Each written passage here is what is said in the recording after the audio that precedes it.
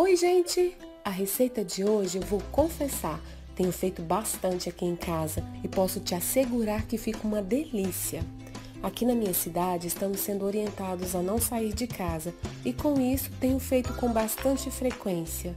Para isso, vamos precisar de duas xícaras de goma de tapioca. Vou passar uma a uma pela peneira e vou esparramar ela por toda a forma. Vou levar no fogo pré-aquecido a 200 graus por 20 minutos.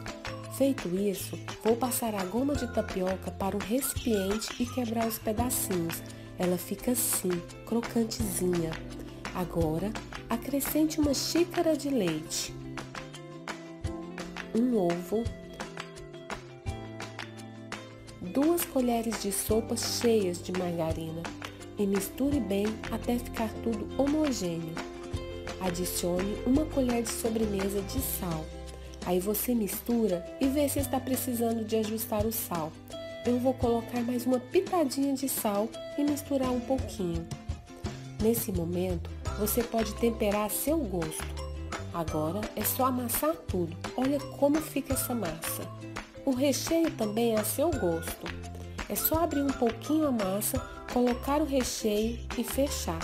Eu recheei apenas com queijo e algumas salpiquei um pouco de orégano, mas podem utilizar sua criatividade. Pode rechear com requeijão, presunto e queijo. Minha filha gosta também com Nutella, fica espetacular. Quero aproveitar e mandar um super beijo para Caríntia Martins, de Belo Horizonte, e para Charlene, de Maranguapé, no Ceará, que estão sempre curtindo e comentando e compartilhando nossas receitas. Obrigada, meninas! Faça isso com todos os pãezinhos. Agora é só colocar para assar.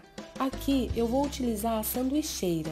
Vou dar uma untada nela para não grudar. Mas você pode levar ao forno que dá super certo também. É só acompanhar o desenvolvimento e aguardar dourar. É muito rápido para fazer e fica muito bom. Olha isso, gente. Olha a perfeição que fica esses pãezinhos e fica muito gostoso. Depois que vocês fizerem a primeira vez, não vão querer ficar mais sem esses pãezinhos. Essa medida rendeu 12 pãezinhos e é ótimo para tomar no café da manhã, no café da tarde, fica uma delícia. Essa foi nossa receita de hoje. Espero que tenham gostado. Deixe aqui nos comentários o que acharam da nossa receitinha de hoje. Será que ela vai ajudar vocês também nesse momento de pandemia?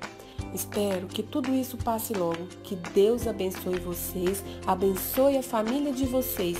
Um super beijo e até a próxima receita. Tchau!